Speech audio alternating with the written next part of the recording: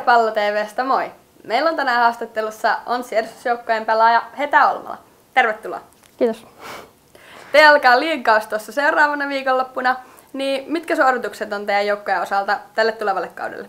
Ää, no, mä toivon, että me päästään niin meidän tavoitteeseen ja parannetaan meidän peliä koko kauden aikana. Kuulostaa hyvältä.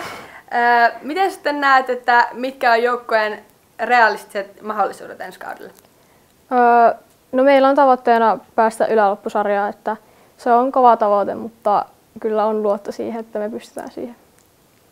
Ja minkälainen jengi sitten tälle kaudelle on saatu Monssista jalkaille?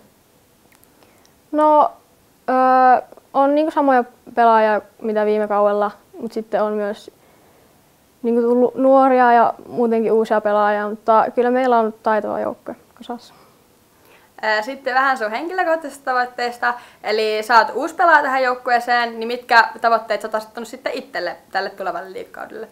Uh, joo, tämä on siis mun eka liikakausi, niin toivon, että saan paljon peliaikaa ja, ja vastuuta. Ja sitten, niin, eka liikamaalin kanssa tavoitteena. ja sä oot vakiokasvu tuolla Junnumaan niin mitkä sun tavoitteet sitten on taas sinne maajoukkuepuolelle? Joo, tuolla syksyllä on sitten nuo, niin alkaa U19 ikäluokan ää, EM-karsinnat, niin kyllä mun tavoitteena, että pääsin siihen joukkueeseen. Hyvä kuulla. Ja sä oot juurikin, niin kuin sanoit, niin ensimmäistä liikautta ja sä oot uusi tähän edustusjoukkueeseen, niin miten sä koet, että sä oot päässyt tähän pelitapaan ja joukkueeseen muutenkin sisälle? Kyllä mä oon päässyt ihan hyvin, että kuitenkin viime kaudella jo sille reenasin jo mukana ja niin, että oli sille ihan tuttua porukkaa. Öö, eli te Olmalat olette aikamoinen jalkapalloperhe.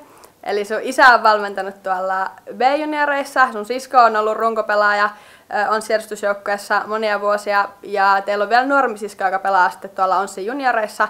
Niin miten sä koet, että tämmöinen fudisperhe on vaikuttanut sun omaan pelaamiseen? Öö, no onhan niinku tukea saanut perheeltä, että se varmaan ja niin kuin paljon futiksesta puhutaan. Ja, niin. ja vielä viimeinen kysymys, eli mitä sitten jos katsoja tulee katsomaan Ossin peliä ja sä oot kentällä, niin mitä katsoja näkee, kun Heta Almala pelaa? Öö, taitavan ja täysillä niin kuin pelaavan pelaajan ja toivottavasti niin, kans niin kuin viihdyttävää peliä. Joo. no niin. Ja tsemppiä tulevaan liikauteen ja kiitos haastattelusta. Kiitos.